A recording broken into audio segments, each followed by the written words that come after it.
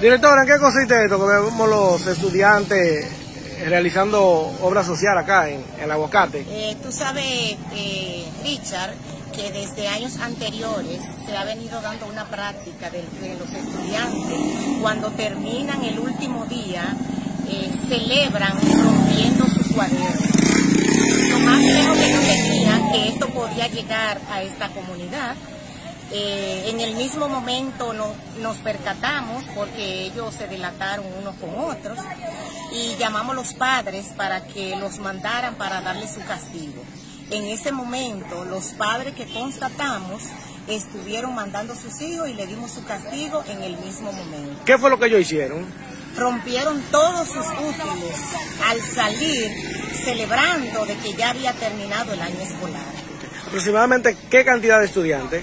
Uno, entre 15 o 20 estudiantes fueron los que hicieron esta práctica. Su mensaje, Eh, le decimos a la sociedad, a los padres, a los estudiantes, que copien las cosas buenas, porque copiaron ellos de las redes sociales, de prácticas que, que se han venido dando en otros centros educativos.